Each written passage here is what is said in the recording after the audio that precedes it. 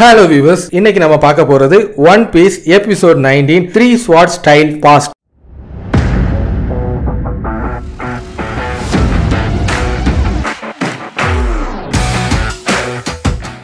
Open பண்ணா ஒரு டோஜோல students எல்லாருமே சேர்ந்து அவங்களோட ஸ்வாட் பயிற்சியை மேற்கொண்டுட்டு இருக்கும்போது சின்ன பையன் ஒரு டோஜோ கிட்ட வந்துட்டு இருப்பான் வேற யாரும் கிடையாது. சோரோ தான். சோரோ வந்துட்டு நான் உங்களோட இந்த டோஜோல இருக்கிற எல்லாரையும் நான் சேலஞ்ச் பண்ணதுக்காக வந்திருக்கேன். இதுல இருக்கிற ரொம்ப ஸ்ட்ராங்கானவங்க கூட நான் சண்டை போடுறதுக்கு தான் இங்க வந்திருக்கேன்னு சொன்னோன்னே இந்த காலத்துல டோஜோவை சேலஞ்ச் பண்றதுன்னு சொல்றது ரொம்ப ரேரா தான் நடக்கும்னு சொல்லிட்டு சொன்னோன்னே என்ன ஒரு சின்ன பையன் சொல்லிட்டு ரொம்ப சாதாரண நினைச்சிடாங்க நான் இதுல ஜெயிச்சிட்டேன்னா இந்த டோஜோ எனக்கு தான் சொந்தம்னு சொல்லிட்டு சொன்னோன்னே அப்படி நீ தோத்துட்டீன்னா என்னன்னு கேட்டா நான் இந்த டோஜோல ஒரு ஸ்டூடெண்டா மாறிடுறேன்னு சொல்லிட்டு சொன்னோன்னே "நீ கொஞ்சம் இங்க வாயேன்னு சொல்லிட்டு சொன்னோன்னே ஃபாதர் நீங்க என்ன கூப்பிட்டீங்களான்னு சொல்லிட்டு வர்றதை பார்த்தோன்னே நான் இங்க ஸ்ட்ராங்கான பீப்புள் கூட சண்டை போடலாம் தான் வந்திருக்கேன். நான் ஒரு பொண்ணு கூட சண்டை போட மாட்டேன்னு சொல்லிட்டு சோரோ சொன்னோன்னே உன் குயினா ஒரு பொண்ணு தான். ஆனா இந்த டோஜோல இருக்கிற ரொம்ப ஸ்ட்ராங்கான மத்த அடல்ட்ஸை விடவும் இவர் ரொம்ப ஸ்ட்ராங்கானவன் சொல்லிட்டு சொன்னோன்னே நான் இங்க இருக்கிற ஸ்வாட்ஸ்ல எதனாலும் யூஸ் பண்ணிக்கலாமான்னு சொல்லிட்டு கேட்டோன்னா அதிகமான ஸ்வாட்ஸை எடுத்து கையிலையும் வாயிலையும் கவி பிடிச்சிட்டு சண்டை போடுறதுக்கு தயாராயிட்டு இருக்கிறத பார்த்தோன்னே ஆனா குயினா ஒரே ஸ்வாடை பயன்படுத்தி ஒரே அட்டாக் பேக்கில் அவன் தலையிலே அடிச்சு மட்டையாகிட்டு இருப்பான் அவன் மொத்தமாக மயங்கி கீழே விழுந்துட்டு நான் நான் கிவ் அப் பண்ணவே மாட்டேன்னு சொல்லிட்டு திருப்பியும் ரெண்டு ஸ்வாட் எடுத்து சண்டை போடுறதுக்கு தயாராகிட்டு இருக்கிறத பார்த்தோன்னே நீ பிடிச்சிருக்கணும் ஸ்வாட் ஸ்டைல பார்த்தாலே தெரியுது. கண்டிப்பாக நீ டூ ஸ்வாட் ஸ்டைல் டெக்னிக்கை நீ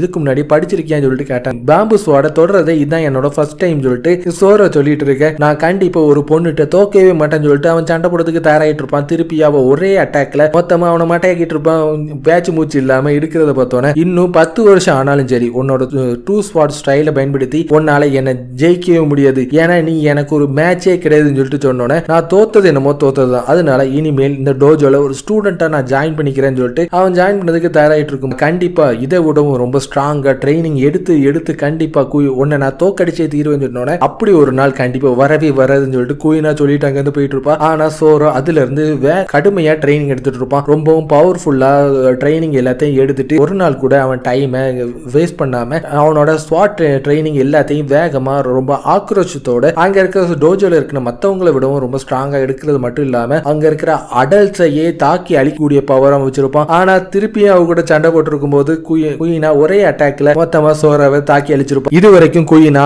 ரெண்டாயிரம் வாட்டி அவன்கிட்ட ஜெயிச்சிருப்பா. ஒரு வாட்டி கூட சோரோ ஜெயிச்சிருக்க மாட்டான். சோரோ ஒன்றும் அந்த அளவுக்கு வீக்கான மாதிரி தெரியலையே. இந்த டோஜோலையும் அவனை விட ஸ்ட்ராங்கான ஆள் யாருமே கிடையாதுன்னு சொல்லிட்டு மற்ற ஸ்டூடெண்ட்ஸ் எல்லாருமே சொல்றதை பார்த்தோன்னே என்னதான் ஸ்ட்ராங்கா இருந்தாலும் ஒரு வீக் வீக்லிங் எப்பவுமே ஒரு வீக்லிங்கா தான் இருப்பான். சென்சை நீங்க உங்களோட பொண்ணுக்கு தனியா சீக்கிரட்டா ட்ரைனிங் ஏதாச்சும் கொடுக்கீங்களான்னு சொல்லிட்டு மற்ற ஸ்டூடெண்ட்ஸ் எல்லாருமே கேட்கறத பார்த்தோன்னே நீங்க நினைக்கிற மாதிரி நான் அந்த மாதிரி எதுவுமே பண்ணல. குயினா எப்பவுமே ஸ்ட்ராங்கா இருந்துட்டு இருக்கு? அவர் தனியா ட்ரைனிங் எடுத்துட்டு இருக்கான்னு சொல்லிட்டு சொன்னோன்னே அப்போ குயின் அவனை எப்படியும் தோக்கடிச்சே தீர்வேன்னு சொல்லிட்டு அவன் முடிவு எடுத்துட்டு இருப்பான். அப்படி நான் அவளை தோக்கடிச்சா மட்டும்தான் இந்த உலகத்திலேயே நான் ஒரு ஸ்ட்ராங்கான ஸ்வாட்ஸ் மேனா என்னால மாற முடியும்னு சொல்லிட்டு சோரோ முடிவு எடுத்துட்டு இருக்க. அதுக்கு கண்டிப்பா எவ்வளவு நாள் ஆனாலும் சரி அவளை நான் தோக்கடிச்சே தீர்வேன்னு சொல்லிட்டு அந்த டோஜோவோட மாஸ்டர் அவரோட ஃப்ரெண்ட்ஸ் கூட சேர்ந்து பேசிட்டு இருக்கும்போது சோரோ என்னதான் பலம் வாய்ந்ததா இருந்தாலும் குயினா கிட்ட அவனால நிக்க கூட முடியலையேன்னு சொல்லிட்டு கே- பார்த்தோன்னே குயினா என்னதான் ஸ்ட்ராங்கா இருந்தாலும் அவளால இந்த டோஜோவை அவன் நடத்தவே முடியாது. அதுக்கு அவ பொருத்தமான ஆளே கிடையாதுன்னு சொல்லிட்டு அவங்க அப்பா சொல்றத பார்த்தோன்னே ஃபாதர் நீங்க என்ன சொல்ல வரீங்க?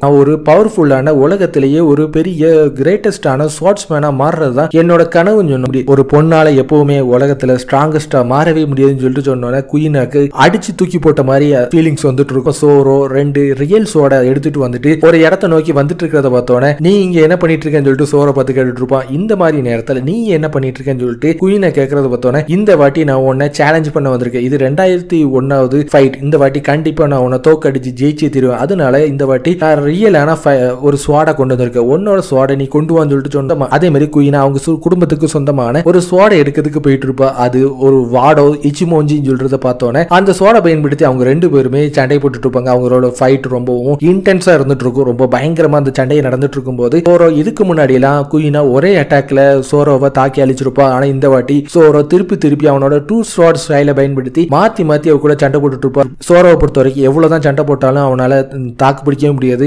அவனுக்கு அந்த அளவுக்கு ஸ்டாமினா இருக்காது. ரொம்ப ஏங்கிட்டு இருக்கும் போது ஆனா அவளுக்கு ஸ்டாமினா அதிகமா இருந்துட்டு இருக்கும் உன்னால என்ன ஒண்ணுமே செய்ய முடியாதுன்னு சொல்லிட்டு இருக்கும்போது கொஞ்ச நேரத்துல ஒரு இன்ஸ்டன்டான ஒரு ஸ்பீடை பயன்படுத்தி ஒரே அட்டாக்ல சோரோவை மொத்தமா துவம்சம் பண்ணிட்டு இருப்பா இது ரெண்டாயிரத்தி இருபத்தி ஒன்னாவது வின் சொல்லிட்டு சொன்னோன்னே சோரோவால அதை தாங்கிக்க முடியாது. நான் எத்தனை வாட்டி நான் ட்ரை பண்ணாலும் உன்னை ஜெயிக்க முடியல. நான் எவ்வளவு கடுமையா ட்ரைனிங் பண்ணிட்டு இருக்கேன் ஆனா உன்னால ஜெயிக்கவே முடியலன்னு சொல்லிட்டு அழுகிறத பார்த்தோன்னே நீ எதுக்காக ஒரு பொண்ணு மாதிரி எழுதிட்டு இருக்க நான் இந்த உலகத்துல பொண்ணா பிறந்து ஒரு வீக்கரை மாறிட்டேன். பொண்ணை பொறுத்த வரைக்கும் உனக்கு எதை பத்தியும் கவலை கிடையாது. ஏன்னா இனி ஒரு பொண்ணா இருக்கிறவங்களுக்கு தான் எல்லாமே கவலை. போக போக எனக்கு எல்லாமே மாறிடும் நான் ரொம்ப வீக்கான பாடியை மாறிடுவேன்னு சொல்லிட்டு அவன் பார்த்து அ- அழுதுட்டு இருக்கிறத பார்த்தோன்னே சோரோ பார்த்து ஷாக் ஆயிட்டு இருப்பான் இந்த உலகத்துல பெஸ்ட் ஸ்போர்ட்ஸ்மேனாக மாறணும் தான் என்னோட முக்கியமான ஆசை. ஆனால் என்னோட ஃபாதர் நான் அதுக்கு லாய்க்கே இல்லை. நான் ஒரு பொண்ணுன்னு சொல்லிட்டு என்னை விளக்கிட்டாரு. நான் உன் உண்மையிலே பார்த்தா சோரோ உன்னை மாதிரி ஒரு பையனாக மட்டும் நான் பிறந்திருந்தேனா எனக்கு எவ்வளோ லக்காக இருந்திருக்கும்னு சொல்லிட்டு சொன்னோன்னே அப்போ சோரோக்கு கோவம் வந்துட்டு இருக்கும் இந்த உலகத்தை பொறுத்த வரைக்கும் பொண்ணு பையன் சொல்லிட்டு எந்த ஒரு இதுவுமே கிடையாது. அவங்க ஒரு இதில் நம்ம ஸ்ட்ராங்காக மாறணும்னு சொல்லிட்டு ஆசைப்பட்டா நம்ம கோல் அடையிற வரைக்கும் நம்ம அதுக்காக கடுமையாக முயற்சி பண்ணி ஆகணும்னு சொல்லிட்டு சோரோ சொல்கிறத பார்த்தோம். இவ்வளோ நாளாக உன்னை நான் தோக்கடிக்கணும்னு சொல்கிறேன் அந்த வெறியினால தான் இந்த அளவுக்கு நான் ட்ரைனிங் பண்ணிட்டு இருக்கேன். நீ இப்போ சொல்கிறது எல்லாத்தையும் கேட்கும்போது போது என்ன நீ கேவலப்படுத்துற மாதிரி இருக்கு. ஒரு நாள்ல ஒரு நாள் கண்டிப்பா நம்ம ரெண்டு பேர்ல ஒரு ஆள் ஒரு வேர்ல்டு